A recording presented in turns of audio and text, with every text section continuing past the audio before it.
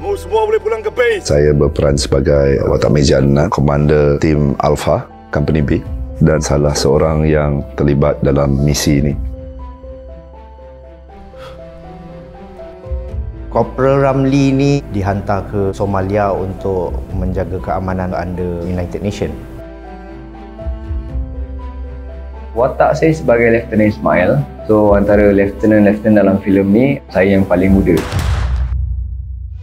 Hari ini saya memainkan watak salah seorang pejuang negara dalam filem Bakara ni. Sikit lagi, sikit lagi. Lieutenant Mustafa merupakan salah satu platoon leader. Dia nampak seorang yang sangat cold, sangat tidak bergaul dengan orang lain. Tapi dia tegas.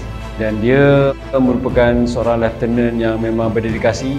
Memang seorang askar yang memang taat setia kepada pasukan dan juga kepada negara dia. Lieutenant Dari ni adalah seorang tentera yang agak cool lah. Ahmed! Kalau dia ada mission, dia akan sangat fokus lah. Dan dia juga sudah berkahwin, terpaksa tinggalkan isteri dia. Itu kawasan bahaya tuan. Cabaran untuk membawa watak Ramli ni, Sam kena hidup macam mana seorang tentera hidup. Dan disiplin macam mana seorang tentera berdisiplin.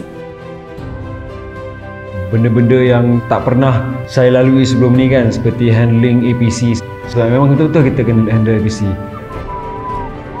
Penggunaan senjata itu juga satu cabaran juga sebab kita kena nampak bentuk real kan sebab kita walaupun kita pelakon tapi bila kita dah kasih training tu kita kena nampak benda taktikal tu betul sebab biar bila audience tengok oh inilah taktik yang betul